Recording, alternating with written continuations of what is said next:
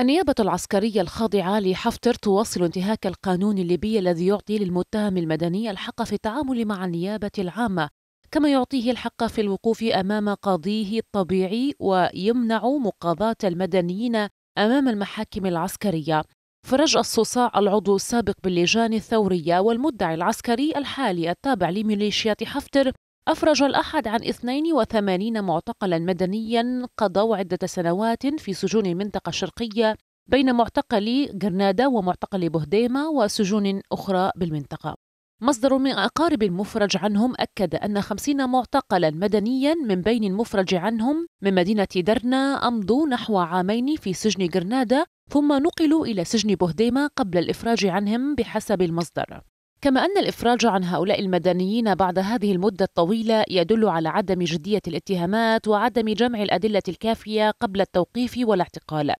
وهو ما يعطيهم الحق برفع دعاوى ضد الجهة التي اعتقلتهم وأفرجت عنهم بسبب التعسف في استخدام القانون ومخالفة الإعلان الدستوري بحسب القانونيين.